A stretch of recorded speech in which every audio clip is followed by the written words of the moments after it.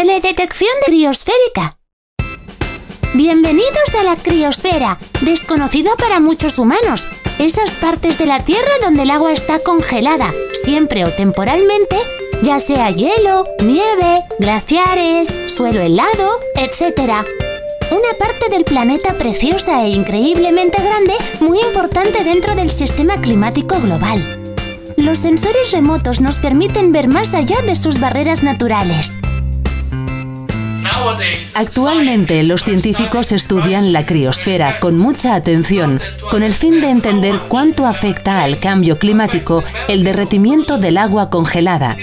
Es un problema muy serio que la humanidad tiene que afrontar, ya que están en riesgo muchas vidas y ecosistemas.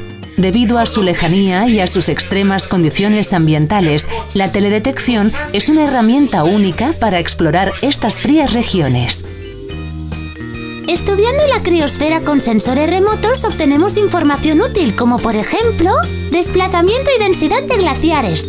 Los glaciares son uno de los indicadores más sensibles del cambio climático, ya que tienen una importante función estabilizadora dentro del sistema global medioambiental. Cualquier pequeña variación hace la diferencia.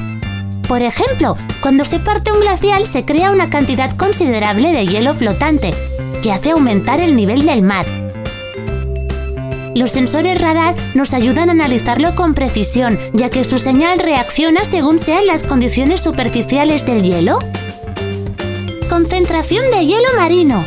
El hielo marino emite más energía que el océano circundante, lo que facilita la distinción entre los dos mediante los radiómetros de microondas. Capa de nieve y contenido de agua equivalente. Aunque la capa de nieve es importante en el sistema climático debido a su impacto en la cantidad de luz reflejada por la superficie, el contenido equivalente de agua de la nieve es una variable imprescindible para muchos modelos hidrológicos. Grosor del hielo marino. Los sensores radar y lidar envían señales de radio o luz hacia la Tierra y miden cuánto tiempo tardan en regresar, pues el tiempo de ida y vuelta determina la distancia del satélite a la superficie reflectante.